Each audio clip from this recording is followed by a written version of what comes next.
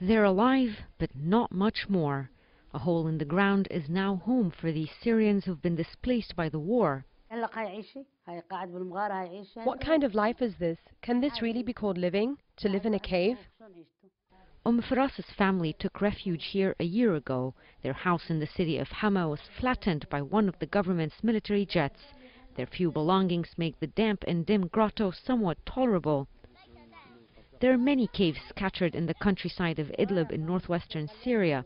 At first they were used as temporary bomb shelters, but now they've become permanent residence for some of the 5 million people displaced within Syria. We've been taking shelter in this cave for a year. I'm responsible for seven people, and I'm just a widow. You can see what it's like. Fighting insects and illnesses in the humid conditions are some of the challenges. But above all is the challenge of finding enough food to eat. And holed up in the darkness, these little ones read books from a school they can no longer attend. With the war pushing them underground, some Syrian refugees are left living in what seems like the prehistoric past. Rawi Al Jazeera.